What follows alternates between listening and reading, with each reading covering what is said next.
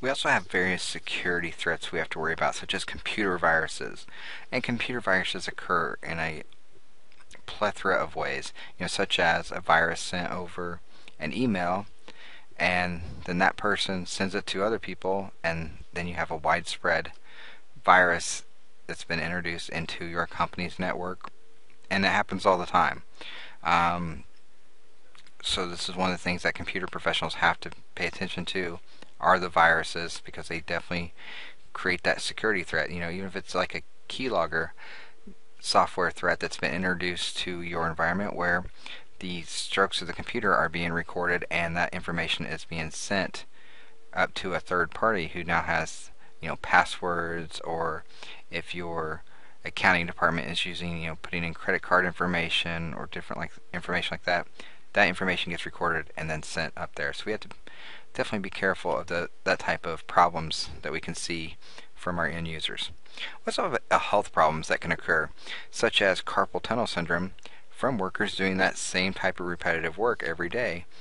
Uh, you know a information worker that is working doing data entry and not really moving around much can develop that type of uh, syndrome. So, you know, we have to think about ergonomics, which is the field that says how to design a workspace that promotes, you know, not only worker health, but as as well as their safety. So we want our workers to be safe, healthy, and productive.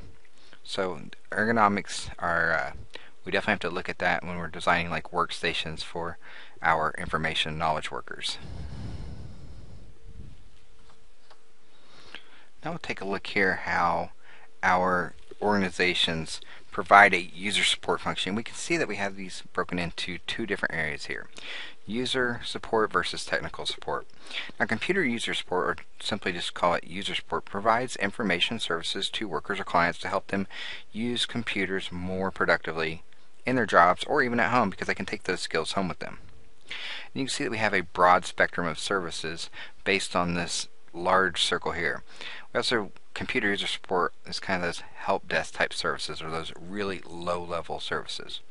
Whereas technical support is usually a level of user support that focuses on advanced troubleshooting and problem solving in an organization. And you can see here we have it has a much narrower focus of support. Now organizations provide support to their workers in a variety of ways and you can see this figure here kind of lists the most common methods in organizing the user support function.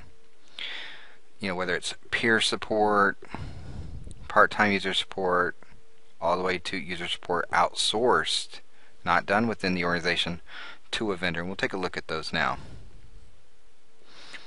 Now, peer support is provided as kind of informal. It's just kind of colleagues assisting other colleagues to, you know, get those problems fixed.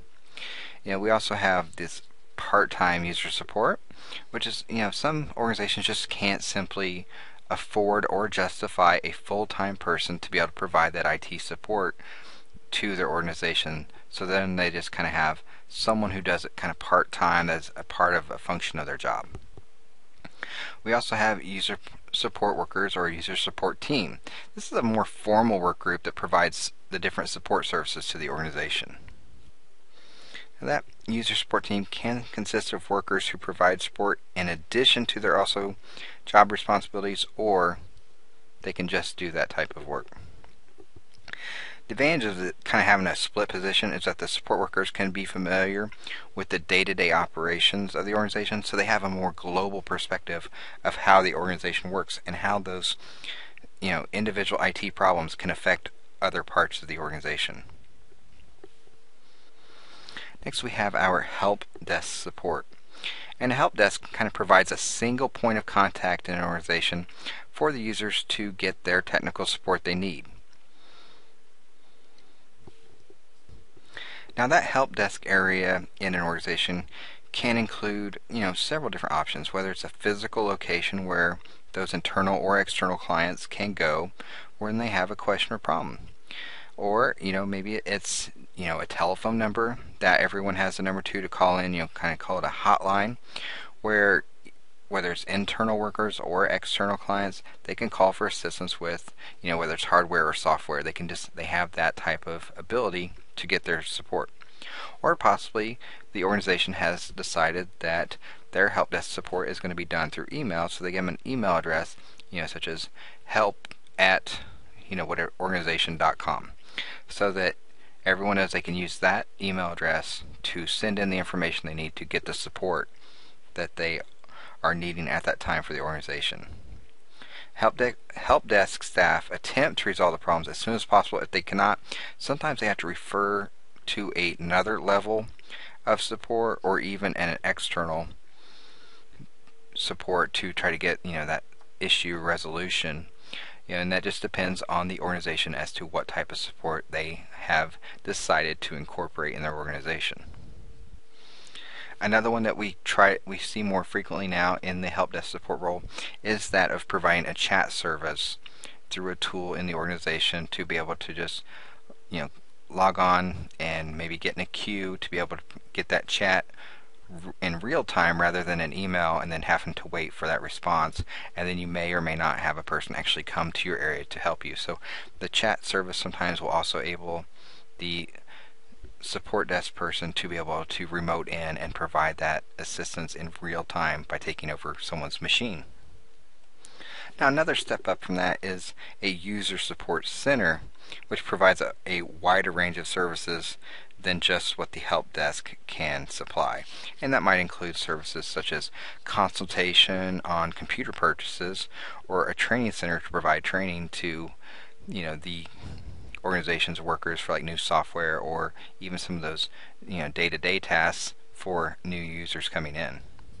That next level up is using user support as an IT responsibility where you have the IT department that you know, primary responsibilities might be to design and develop application programs and operate the organization's systems and telecommunication networks. Some organizations have found this to be not as effective for that kind of lower level end user support function. So you might see, you know, kind of a blend of these in an environment. It just depends on the organization's goals, responsibilities, financial abilities to as to what type of level they're going to provide.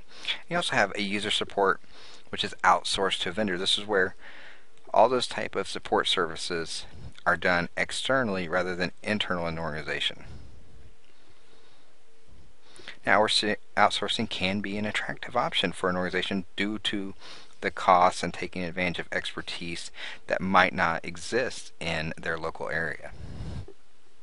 Of course, there are you know disadvantages that can come with this outsourcing because outsource support usually occurs by telephone or email because the on-site assistance can be prohibitively expensive, and out you know outsource support costs are typically predictable, although not necessarily lower than by providing an internal support within that organization. And there's also the, one of the largest disadvantages is that your outsourced support doesn't really kind of develop any type of personal relationship with an organization, so it doesn't know how everything works and how everyone can be affected. And when you have that internal support, sometimes those personal relationships give a greater sense of comfort when reporting those issues. Now let's take a look at some of those common user support services that an IT function needs to provide to an organization. You know, some of those support services include staff a help desk hotline or chat service to provide information, provide technical troubleshooting assistance for different hardware, software, and various network problems.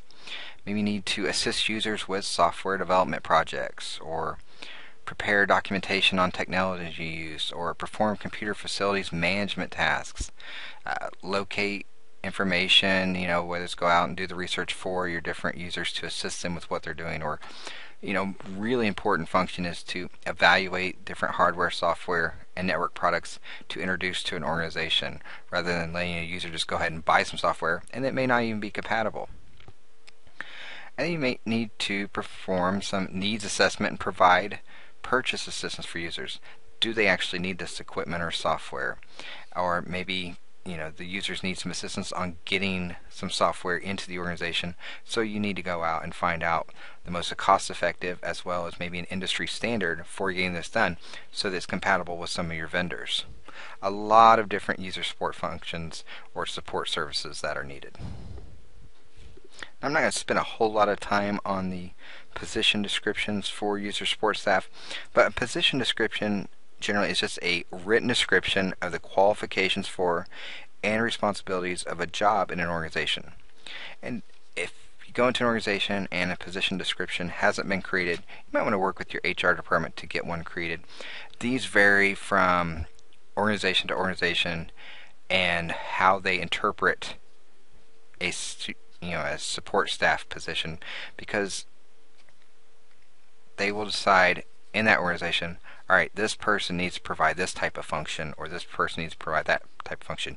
You may have an organization that wants a network administrative staff but they also not just want them to be able to provide any type of help with the network but also those help desk type functions on the actual user needs for, oh, if a person's got a problem with an Excel spreadsheet, they want them to be able to figure out that information too, even though that person, as a network admin, may not have those skills because what they've honed their skills on are network functionality only.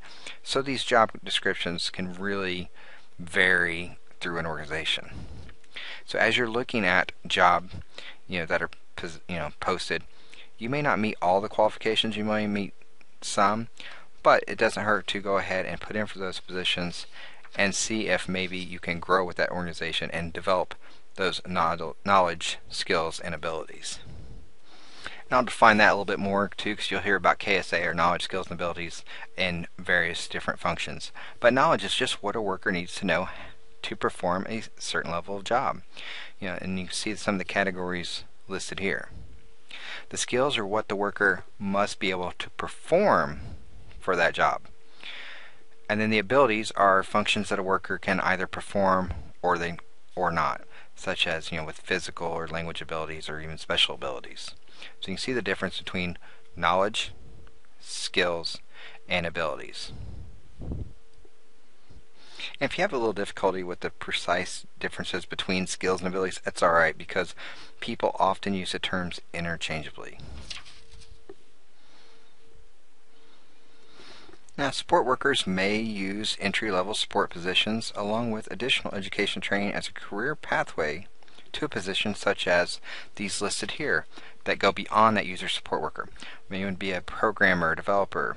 You, you like the network side, you want to be a network technician, which kind of involves different tasks such as installing and configuring a network, those network servers, cabling, different things like that. Or you maybe you want to be a website manager or a maintainer where you can work with software packages such as Dreamweaver to be able to build and maintain websites. Maybe you want to be a support manager who kind of plan and schedule the work of the support staff.